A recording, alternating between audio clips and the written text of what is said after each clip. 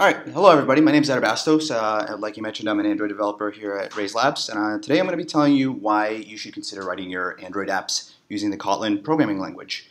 Uh, Kotlin's a programming language that compiles to JVM bytecode, so it's basically just like using Java. Um, so why use it? Java's fine, right? Um, well, the problem is that Java 6 is what we're stuck with on Android.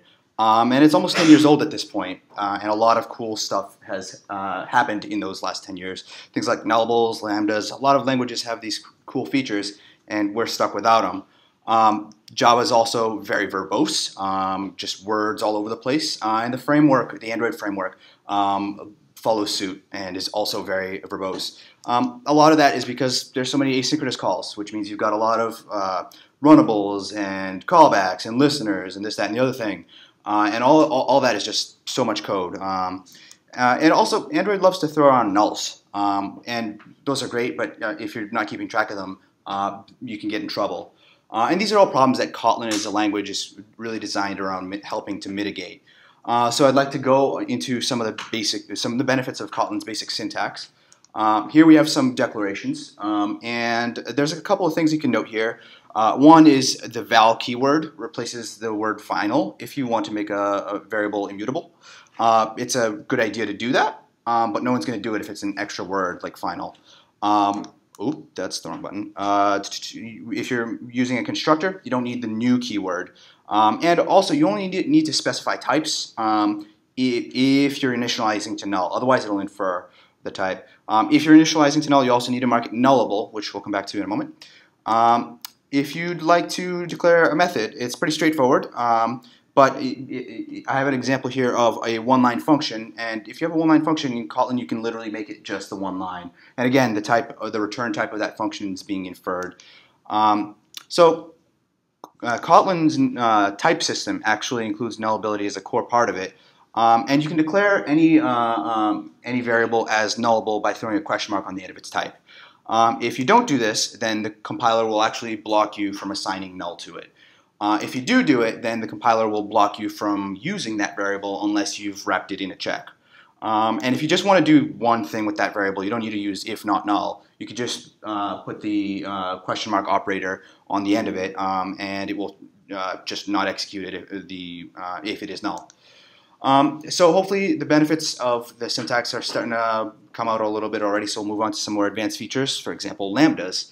Um, so lambda is uh, a good example of when you would use a lambda is if you were starting a thread with an anonymous runnable. Um, so here it is written in Kotlin the way you would with Java. Um, literally, you're just defining an object that extends runnable. Um, and here it is with a lambda. Four lines of ceremony became two, um, and now all you're left with is the useful content. Um, here's a comparison against some actual Java code. So let's say you have a progress bar, one of those little spinny things that let you, lets you know that something's happening in the background. You want to fade it out, um, and then you want to set its visibility to gone so the framework doesn't keep rendering it. Um, look how much code that is just for two very basic things. Um, with Kotlin and a Lambda, boom, it's down to three lines. Um, so uh, another useful function or feature is uh, extension functions. Uh, a lot of languages have this type of thing now, uh, but an extension function basically lets you add, uh, add methods to a class that you didn't write. Um, and to define one is very similar to any other function. You just prefix the uh, function name with the type that you want to extend. And note that within the body there, we're calling ends with just as if we were inside that class. We don't have to call string dot ends with. Um, and then when we want to actually use that uh, function, it's just like calling any other public method on string. So it really looks like it's just something that came with it, um, and you didn't have to do any hacks to make it happen. Um, so Kotlin actually lets you write functions that take as an argument another function, right? Um, it's uh, a, a, feature that we call higher order functions. Uh, it's really powerful. Um, so let, us say you have some potentially unsafe operation um, that you want to call a lock before you do it, and then you have to make sure that you call unlock afterwards. Um, and you don't want to have to remember to do those things every single time. Um, so you can see here where we've defined a uh, function uh, that has body as a function type argument. You can tell because it's got the arrow um, in its uh, type indicator. Um, so uh, we've defined this as a uh, higher order function, and then we're going to define some non-thread safe operation uh, that we want to throw in there. Um, and now when we call it, uh, we just use the function reference operator. It might be a bit tough to see. It's a pair of colons. Um, and it's just like passing anything else in there. Now the other option we have is we could pass in a lambda. Um, and Kotlin has a convention where if the last uh, argument of a function is a function, uh, and you're passing it uh, as a lambda, uh, if you're resolving that as a lambda, you can actually put the braces outside of the parentheses. Um, and so what that does is create, we've created something that looks kind of like a new keyword. It kind of looks like a synchronized keyword.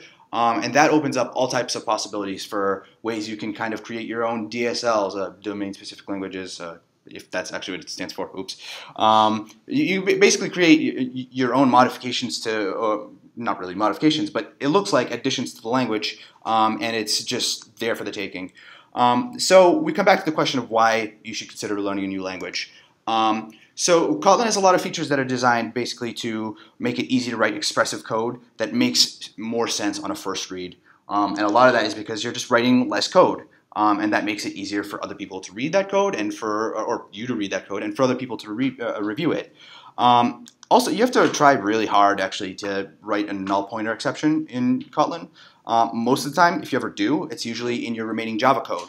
Uh, and that brings us to, to, Java interoperability, which I didn't really cover at all. Um, because Kotlin is designed to, to, work completely transparently with Java. You can call any Java code and vice versa. Uh, and it's it is actually so simple that talking about it's like really boring. So that's why I didn't really touch on it. Um, it just compiles to Java to JVM bytecode, um, so it just works transparently. Um, so maybe I've sold you, you, you, want to give it a shot. You're wondering how to get started. Uh, well, if you use IntelliJ, uh, version 15 uh, has Kotlin support built in. Uh, for earlier versions, you can grab a plugin. Uh, here's some other resources you can take a look at to kind of start learning about the language. Uh, the one that I recommend, especially if you're not so sold on it, is that last one uh, which is a, uh, an article written by Jake Wharton of Square, uh, where he compares Kotlin to a bunch of other languages uh, like Scala, Ruby, uh, Java 8, um, regarding things like the method count of the standard uh, runtime library, the resulting bytecode from from using the languages. it's a really great quick read. It goes very in depth, um, and it's also pretty easy to find on Google if you didn't get that link.